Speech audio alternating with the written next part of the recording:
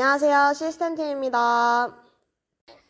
안녕하세요. 음향 오퍼를 맡은 이한솔입니다. 음향 보조를 맡은 박세현입니다. 음향 보조를 맡은 진정훈입니다.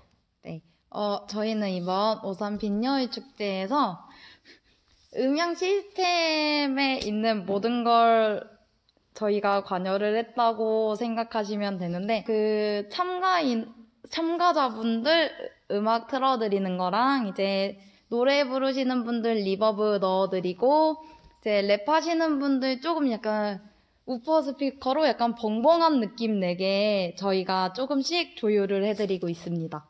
어? 아니, 했었습니다.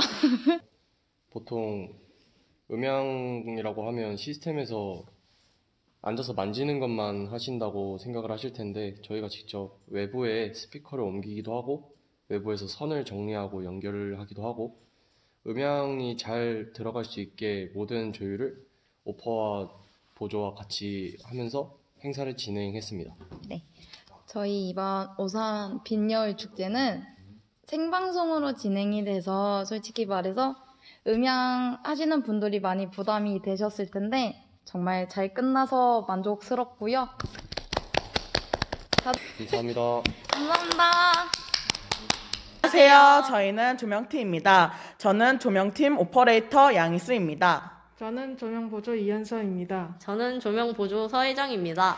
저희 팀은 조명 디자인 및 구상을 하였고요. 무대 배치 작업과 조명 설치 작업을 하였고 당일 행사 공연의 조명을 연출하였습니다.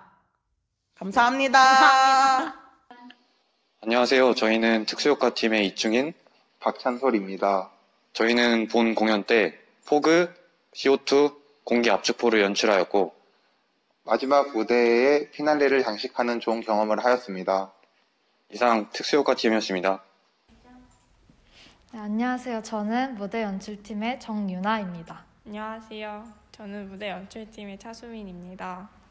저는 이번 행사에서 무대 뒤에 세울 백월과 사회자 뒤에 세울 백월의 현수막을 디자인하는 일을 했고요.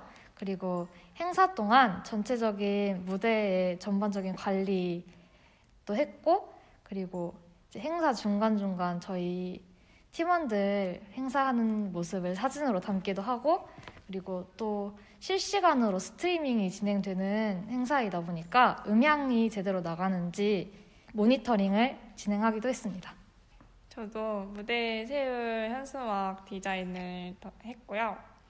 무대 하수에서 출연진 입장하는 걸 도왔습니다. 감사합니다. 네, 감사합니다.